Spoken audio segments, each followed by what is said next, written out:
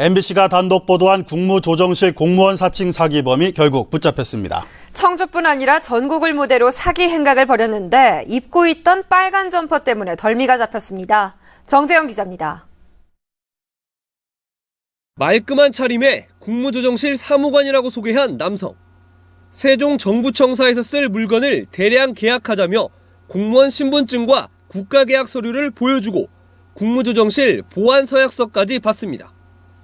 왼쪽 한쪽에 공무증에서 딱 뽑고 조금 있더니 무슨 전화가 한 통을 받더라고요. 아 국장님 그거는요.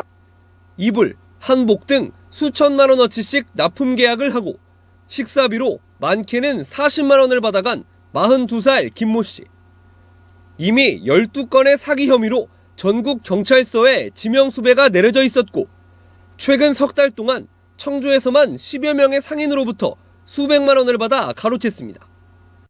도움을 준다는 식으로 얘기를 하니까 거기에 대해서 관련을 제기하거나 자꾸 이렇게 되물으면은 혹시라도 개신죄로 취소하고 끝내버릴까 하는 그런 마음에서 겹치는 업종을 피하며 1년 넘게 수사망을 피해왔던 김 씨는 범행 중 입었던 빨간 점퍼가 CCTV에 찍히면서 추적을 당해 청주의 한 여관에서 검거됐습니다.